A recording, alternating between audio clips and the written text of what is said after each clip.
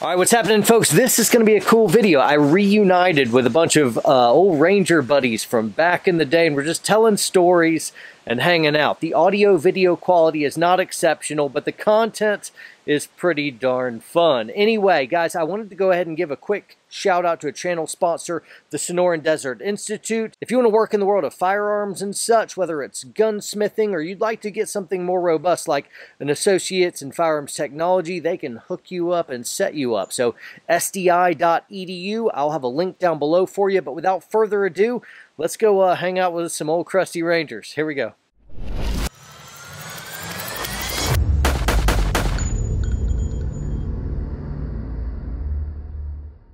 All right, we're rolling. All right, what's happening, folks? Got a treat. Ran into some old Ranger buddies uh, from Second Going out. back, back in the day. This is Aaron and Nate. Yep. Hey.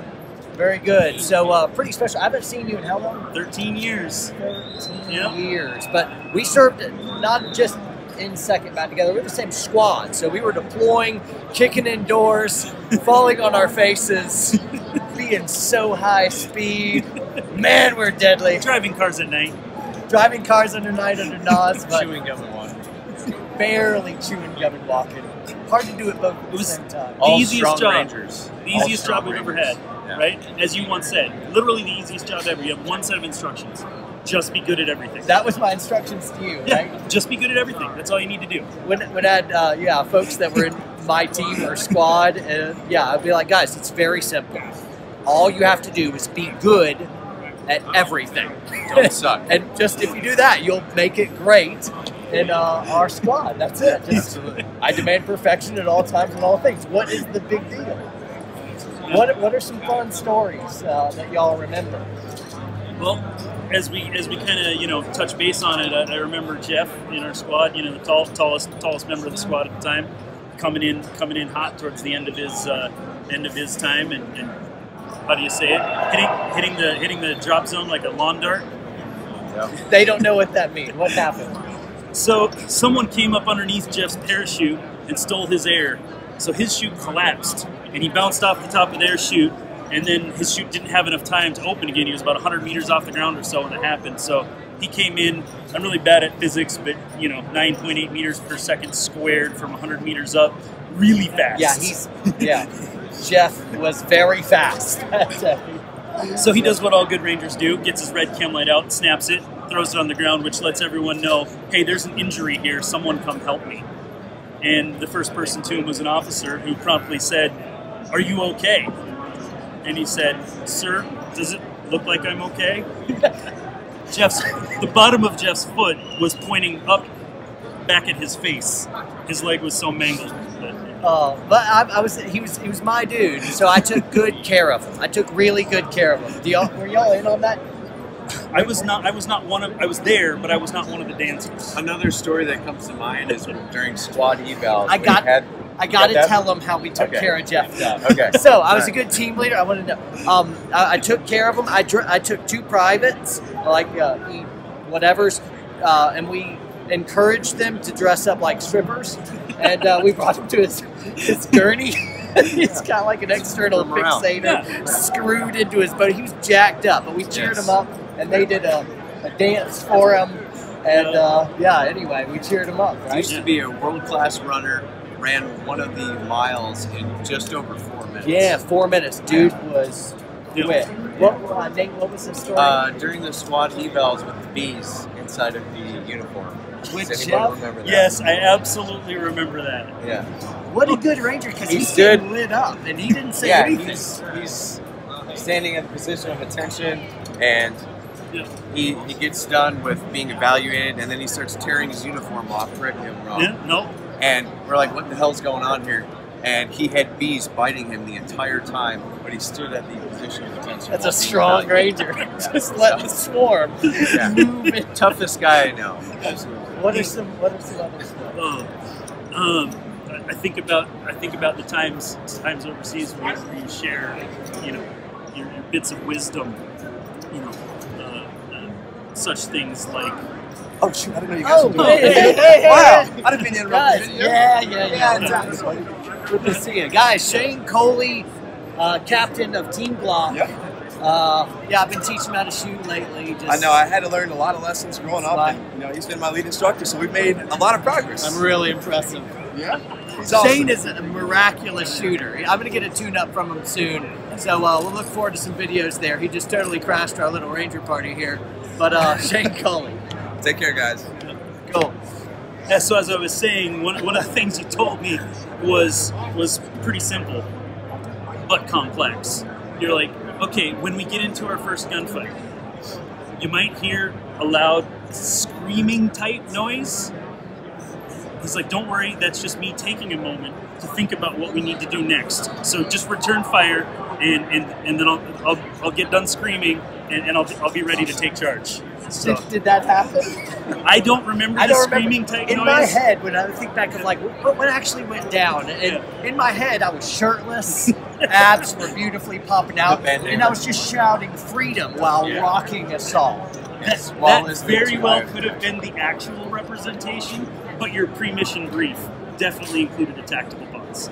You Yes. got you got to just have the moment, the cathartic ah, scream, Absolutely. and then you stack bodies, bro. Yeah, and you don't tell anybody later. No, no. No, no, no. Here's a here's a fact. Uh, I'll share something funny. Of man, no matter how high speed, cool operator you are, I don't care what tier you are. We worked with ev- everything we did was Yeah. with like unit Yeah. guys, you know, Yeah. that uh, we were attached with. But no matter how awesome you get, you rock some night vision, run around an objective, you're gonna eat it. You're gonna fall down. It's gonna be ugly. You're gonna be bleeding, and it's your fault because you're an idiot. Yes. So that that's part of the reality of it. But I remember Aaron. Uh, we had just done this really cool clandestine infill. We hijacked the Haji truck. Yep. There was that goat in the back that was trying to mate with Forest. Forrest? Yep. Yes. uh, and we did that infill. Uh, you know, beat feet out. We were all night vision, zero illume. I think I remember that right. Yeah. And we were rolling up on building one. I was on point, and I remember looking over just in time to see Aaron just disappear. And he just went into this crater, and he was gone. and I mean, I already had a number two man, so I, I had my dudes, and I was uh, ready to go in. But I remember as I kicked in door one to uh, start clearing, I remember giggling at your misfortune. So- Well, you know, you got to learn about the yard hole somewhere. It's like obviously there's going to be an eight foot hole, you know, within ten meters of the front door. Of course. Yeah. Yeah. Good times. That's for us. What else do you remember? Nothing for this camera. Nothing for this day. I know because some of the stories they're like, oh, that's not kid friendly. Yeah. Uh, Well, I will probably say the most terrified I've ever been in my life was when you were on the Top Gun and I was driving, and we were the uh, tail truck in a resupply caravan, and we were going. I remember driving that whole movement without ever taking my foot off the throttle, which was jammed to the floor the entire time, trying to keep up. oh, because we were just where were we? Were we Iraq? That was, uh, I believe, it was Afghanistan. Right, um, Were you just going fast? it was fast. It was dark. We were under blackout, and we were doing a we were doing a resupply run back to I forget. I think it was Salerno, but I'm not entirely. And positive. speed was security. And speed was security. It was dark, and it was just you and me in that truck. Two guys in the truck in front of us. Two guys in the truck in front of that. We were going back to pick up more food and water.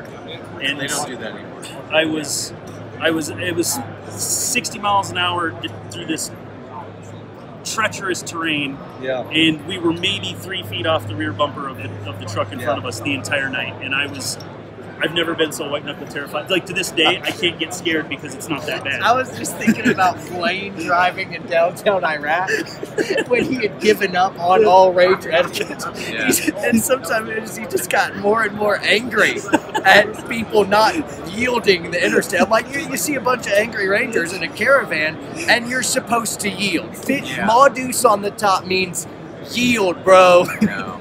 but they just fearless. They just didn't care. They're like, no, I cut off America. I'm like, man, we're rolling dirty here. Uh, so, and played somewhere, he just stopped caring. And so when he was ready to merge left, he didn't look anymore. He just merged left. All of our rucksacks You, gone.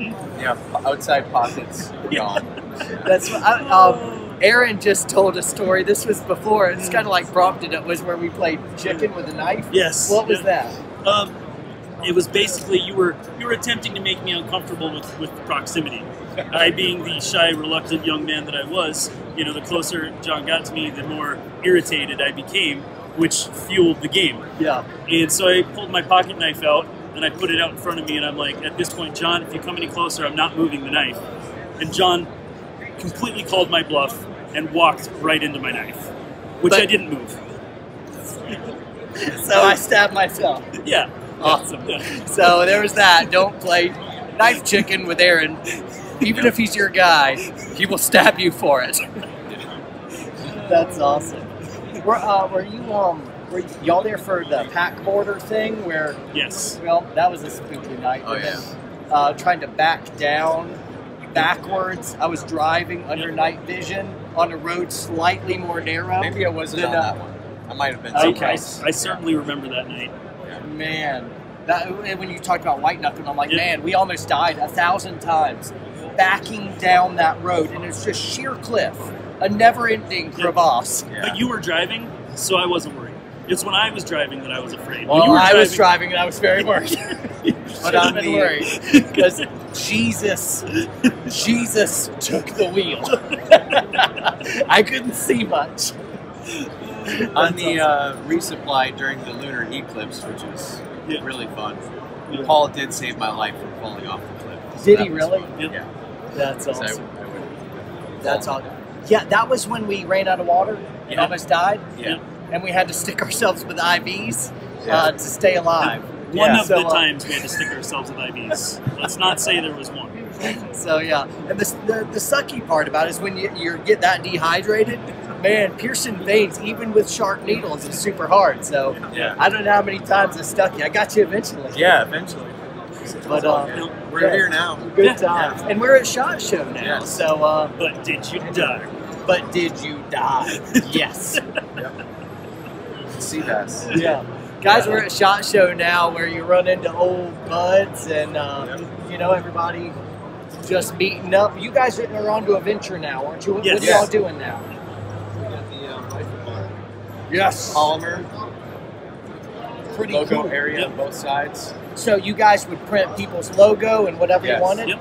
Yep. This- it's a startup, so it's not uh, manufactured yet. This is a 3D printed model. This was our mascot, the sea bass. Yep, sea uh, bass right there and there. And I should have brought my, I've Yep. got mine in a box. Yeah. if I remember next year, maybe I'll do it. Yep. So it, anyway, it'll be engraved and then the handle is Yep. a snazzy rifle. Yep. And inside, when it's empty, it says reload, which is Right. super clever. Yep. And it's at the perfect level that you still have about two drinks of coffee left when you read reload. So it's just enough time to get back to the pot. Yeah, Like- man, you like, gotta. Yeah. That's awesome. And also the travel lid snaps right at the top. Any Ah, generic clever. uh, Any 30 ounce tumbler travel lid tumbler. Cool. snaps right in there. Well, hey, man, support Rangers, of Yeah, course, especially because they're my bros. So links below in the description for these guys, and I'll also put their uh, info, like Instagram handles and whatever you decide. Yeah, uh, cool. Anyway, thanks for doing. Yeah. Yeah, reminiscing. So, Yeah. guys, train hard, train smart. See you next time. thanks.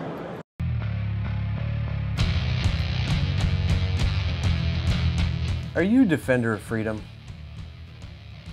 Is your favorite holiday the 4th of July? Is your password for your safe 1776? Do you want to be taken seriously drinking your morning coffee?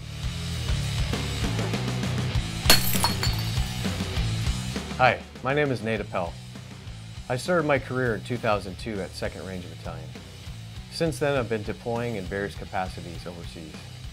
I've created a drinking mug called the Rifle Mug. 30 ounces of freedom at a time. This idea was born in 2012. I was deployed overseas and I came down into the team room and all of our coffee mug handles were broken off. During development, I started asking questions, what does this mug need? Number one, it needs to be extremely durable. I mean, if Marines are using this, right? So number one, it's made from polymer, microwave and dishwasher safe. Number two, it needs a large logo area on the front and the back, here and here. This allows you to put any logo that you want, full color image. This version I've just used Velcro because a lot of our tabs on our uniforms, it's a lot easier to transfer. But you can sublimate print, you can pad print, you can laser engrave, you can put either your SWAT or not on one side, or of course, we have a seal version with the trident on the front and a mirror on the back so they can check their hair. Any 30 ounce travel lid, generic, will fit in the top, snaps in. And also to let you know to refill your drink, reload on the inside. Number three, it needs to hold a significant amount of coffee or alcohol. The rifle mug holds 30 ounces. Number four, and most importantly, we need a rifle as a handle. Why? Because this is America. You can hold the handle left-handed, right-handed, or around the mug itself. So, what are we doing with the money? Our latest estimates up to $70,000 for tooling for injection molding manufacturing. So we're going to use that money to offset some of the cost of that. For $25, less than the cost to fill up your high interest Camaro, you can get this badass coffee mug and fill it with 30 ounces of your premium DFAT coffee. We need your help. Click the link and you'll be the first to get this mug at $25 wholesale price. We need massive support if we're gonna make this product.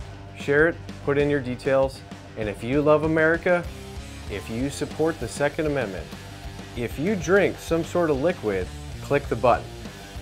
If you don't help us, the terrorists win. Thank you, and God bless America.